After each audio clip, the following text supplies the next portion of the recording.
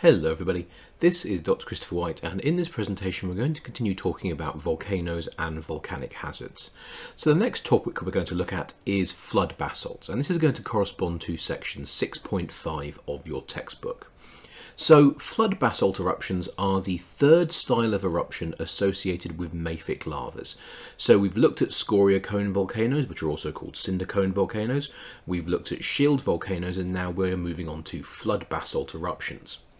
So flood basalt eruptions take place where we have a fissure eruption which is allowing lava to extrude onto the surface of the earth. So you're probably thinking to yourself straight away, well, how is this different to a shield volcano? The answer is it's all about scale, and that's going to become clear in a couple of diagrams time.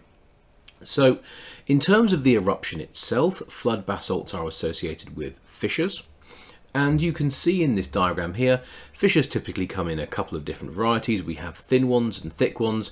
Obviously, the thicker the fissure, the larger the volume of lava you can pass through it and therefore extrude onto the surface of the earth. So you can get more lava out of this larger fissure than you can the smaller fissure, and that's not a huge surprise.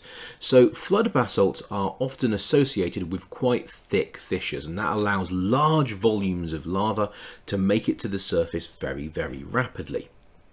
So when we're talking about uh, flood basalts, we are talking about absolutely huge eruptions that take place over long periods of time. We're talking millions of years, in some cases tens of millions of years. So the good, best example of a North American flood basalt is the Columbia Plateau. And you can see this entire sequence here consists of nothing but basalts. And just to give you some idea, this sequence consists of approximately 300 basaltic lava flows. Now, you're still probably thinking to yourself, well, I'm sure there are some shield volcanoes that have, you know, 300 or so lava flows that, that you know, make that volcano up. And you would also, you would be correct if you thought that. But when it comes to flood basalts, it's all about scale. So this is the area which is covered by the Columbia Plateau. And as you can quite clearly see, it is an absolutely huge area. So the next question is, is, well, how did you manage to get so much lava onto the surface of the Earth to actually cover this area in 300 or so lava flows? Well, each of these red lines represents dikes and these dikes are going to represent the position of fissures through which lava was being erupted onto the surface of the earth.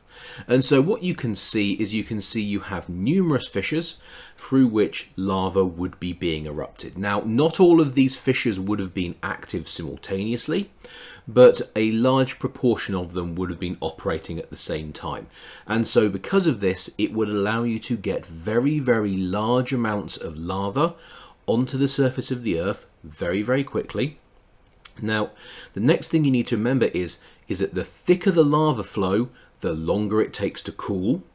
And because we are dealing with a mafic lava, which has quite a low viscosity, it is able to flow quite quickly. And so this means if you can get thick enough lava flows forming, these lava flows can cover absolutely huge distances. So for instance, there's one lava flow that managed to make it all the way from Spokane here, all the way to the Pacific coast in the space of about one month. So that's an average speed of about half a mile an hour, which is pretty fast for a lava flow. And so this gives you some idea about the size of these flows. They will have been very, very thick, and that will have allowed them to retain enough heat to you know, travel these huge distances. And so this is the main difference between flood basalt eruptions and shield volcanoes. It's all about the size. So the next thing we need to think about is how do flood basalts actually form? Well, flood basalts are associated with hotspots, and of course we know hotspots are the result of mantle plume activity. So let's go through the model once again. So a mantle plume is a ball of very, very hot mantle rocks. Now, because they're so hot, they have a lower density than the surrounding mantle, and so this block of very hot mantle rock naturally wants to rise, and that's exactly what it does. It starts off down at the base of the mantle towards the core mantle boundary, and it comes shooting up through the mantle heading towards the base of the lithosphere. Now as it's rising through the mantle obviously the pressure is dropping and of course this is going to eventually lead to decompression melting. So in our model here, you can see we have a piece of continental lithosphere. There's the continental crust.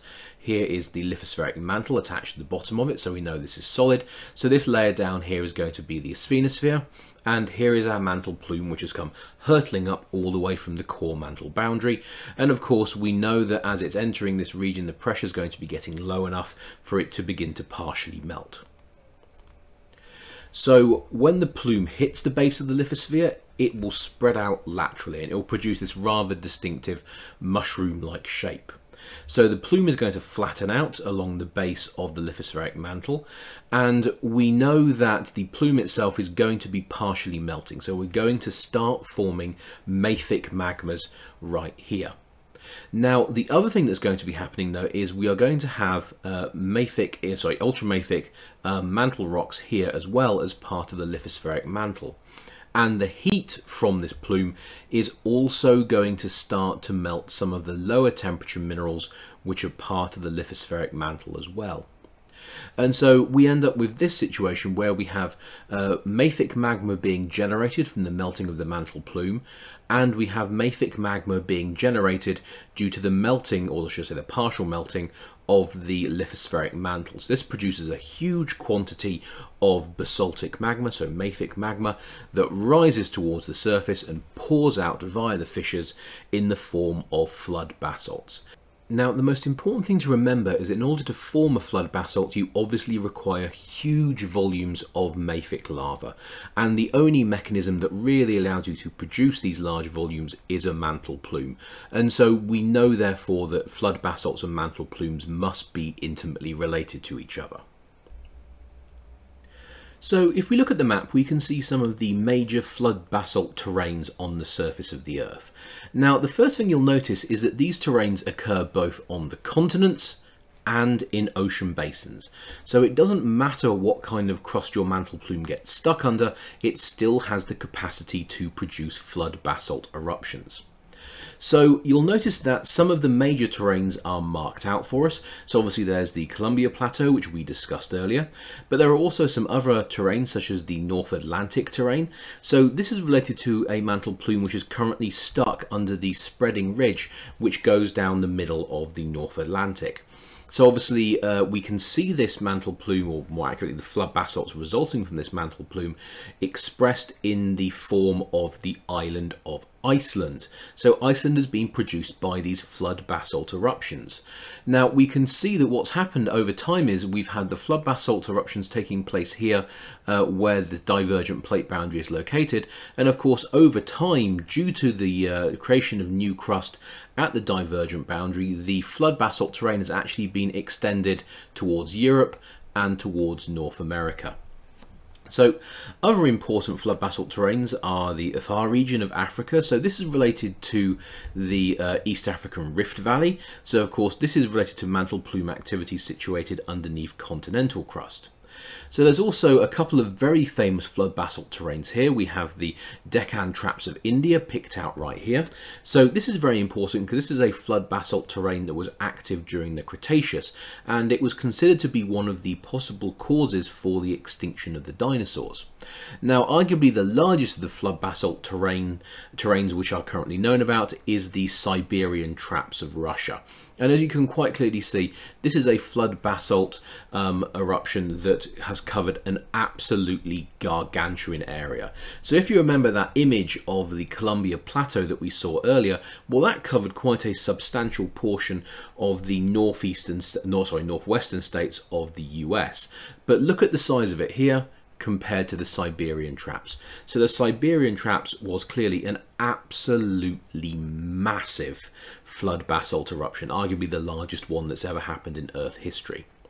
And then we have a couple of examples of flood basalt terrains which are forming uh, on the seafloor. So we have the Ontong Java over here, and we have Kerguelen, which is located down here in the southern Indian Ocean. These are examples where we have a mantle plume trapped under oceanic crust.